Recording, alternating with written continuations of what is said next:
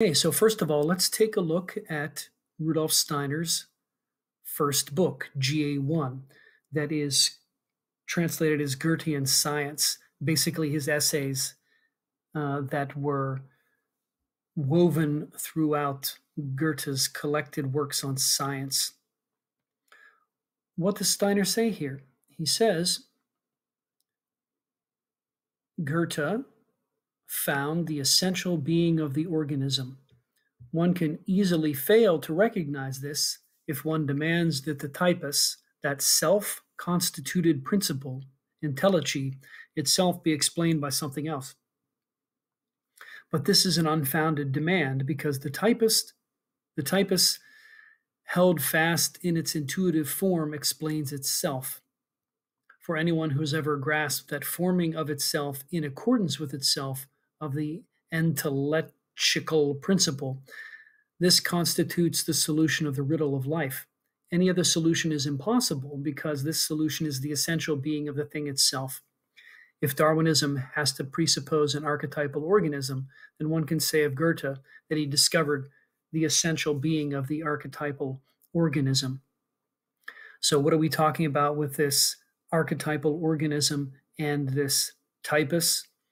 We're talking about the creative principle which forms every plant. On one side, Goethe could see with his intuitive thinking, he could feel with his living soul, and he could perceive with his uh, ideal formation power of sight and he could recognize the way that this was connected with the sense manifestation of particular plant forms.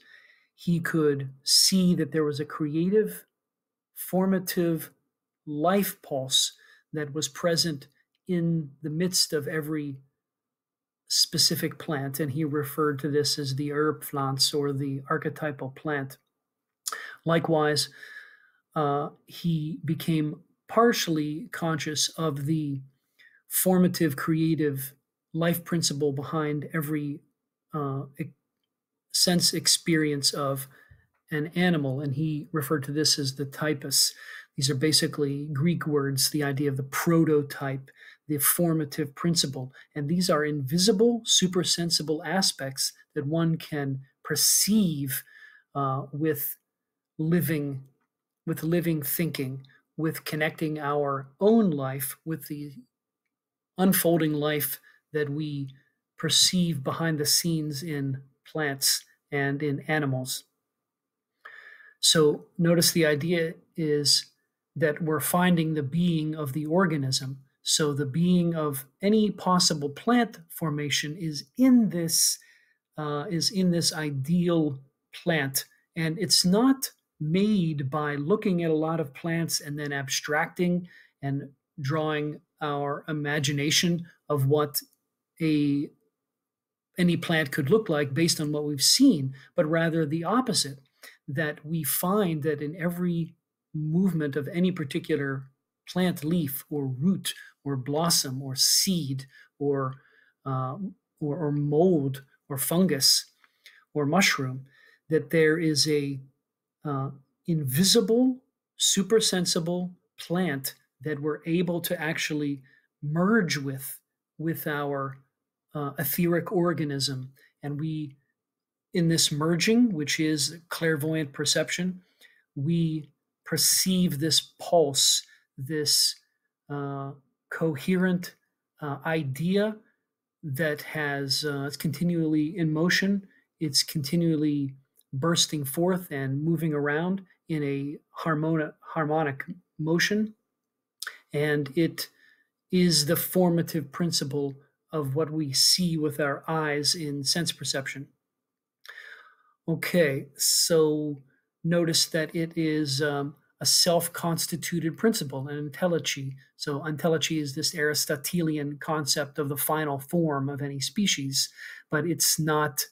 Uh, it's not something that is gained through a linear development of sense perceptible organisms. Rather, it is the inspiration, it's the ideal mother of every single plant formation and every animal that's perceived inside uh, as a as the formative principle, as the creative principle, as the nutritive form, which is uh, invisible, but it's becoming visible in the external world in time and in perception.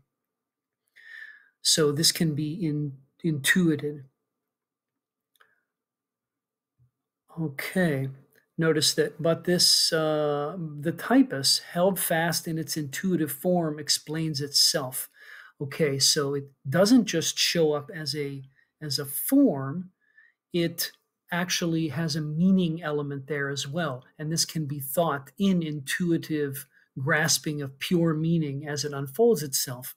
So, for example, if we look at good work that's been done on the Fibonacci mathematical series in the formation of plant forms, we can see that there's an approximation of an ideal mathematical sequence in these seed structures. And of course, you can see this in uh, you can see this in a lot of different leaf arrangements. And notice it's always an approximation of an ideal form. The ideal broccoli and cauliflower and even cabbage uh, indicates this to a certain extent. Everyone's seen how the sunflower seeds arrange themselves in this particular beautiful sequence, which can be uh, understood mathematically. But it's not merely uh, a numerical relationship between quantities, it's also an outcome of this super sensible, uh, etheric life harmony, which is pulsing and which is creative and which one can see and also understand the significance of.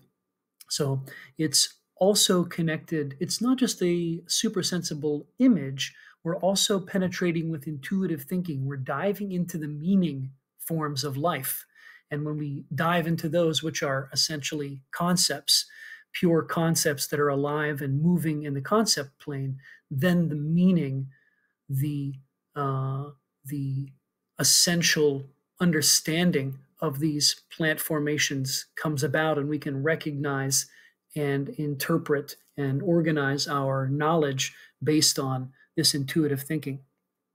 So, same thing we could do if we wanted to penetrate into the living nature of animals. So we find that behind all these moving sense experiences of the animals, that we can uh, see that there is a creative uh, life and soul principle which unfolds in all possible animal forms. And one can uh, not only find this living creative image in inner experience and soul experience uh, and merge with it, which is what is required, the moral requirement for actually uh, entering into the soul world and the real intuitive experience. Uh, we can also uh, recognize the meaning, the, the conceptual understanding we find the concept. So we don't just find clairvoyant images, but as I mentioned before in previous videos, we actually uh, dive into the concept life which unfolds itself behind the scenes. And this concept life is what uh, is expressing itself outwardly in time and space through the animals and the plants. Notice Steiner says also in uh, Goethean Science a little bit later. This is in uh, chapter four. When now our spirit beholds the development of the typus in each particular form of manifestation, this form becomes comprehensible to it. This form appears to our spirit as one of the stages, one of the metamorphoses in which the typus realizes itself. And the nature of the systematics to be founded by Goethe was to consist in demonstrating these different stages. So he's showing this intuitive ideal perception where the spirit beholds the development uh, of this creative form behind all plants. It's almost like when you when you see this for the first time, when you merge with this, you're it's almost like you're rewinding backwards from the sense experience back into the super sensible experience almost what happened uh, a year before or several years before. You're rewinding backward in time and you're seeing how this invisible life structure uh, has created this uh, current sensible form. So, if we want to take this into anthroposophical, spiritual, scientific research, then as we're penetrating and seeing this uh, life principle, which forms all plants, and this experience is like going down into a cave, and we think that we've explored all of the stalactites and stalagmites and all the contours of the cave. This is like the sense world. But then we kind of burst through to a new part of the cave and we see, oh, there's this lit up uh, life form here, which uh, produces all of the forms in the cave itself. And it is a uh, it is a uh, it has contours which can be described totally concretely, which can be uh, organized mathematically and understood logically. And then if we go one step further into spiritual scientific uh, intuition, then we penetrate to the pure meaning forms, and these pure meaning forms are uh, are pure concepts that are intuitively and livingly grasped. And we find there that uh, we can also awaken then to the self conscious I. So, this is the elevation of something that Goethe was not able to recognize the awakening of the self conscious I in the midst of concept land, in the midst of the concept ocean in which we're flowing at every minute. So, once we see how the I uh, can clothe itself with these concept formations and recognize the spiritual nature of these pure meaning forms as they happen to us as they think us. There's this uh, moral center where if we bring this all down to the heart into devotion, all of this uh, cognitive activity, then we find this moral threshold where if we're devoted to nature, if we're devoted to other human beings, we can uh, erase all these sensible forms, erase the typus, erase the archetypal plant, erase the meaning forms uh, that have to do with our personal and, and subjective approach to these. And we can patiently ask and wait for the spiritual world to show up in this empty space. We're still conscious, but we're waiting, and we know that we don't personally gain anything from this activity. We're waiting for the spiritual world to show itself in this uh, emptiness, and that's where the the intentionality reverses, and all of Husserl's projects about seeing ideas get turned on their heads. So we recognize that these archetypes are not frozen ideal forms that then, uh, like prototypical molds in a factory that produce the exact identical form. Rather, they're also evolving and alive, and at their heart, they are spiritual beings. Uh, where we are in thinking, standing in the midst of a spiritual world with real spiritual beings there who are the ultimate content of our thinking. And they weave through us, and we weave through them. They leave us free and open in this very subtle modern experience of thinking. But we can, once we bring this into the heart with devotion, we can find that there's this real monistic flow together that Steiner was indicating in the philosophy of freedom, where I am a world I thought by the spirit beings and also a human I, humble human I living on the earth filled with moral character at every moment.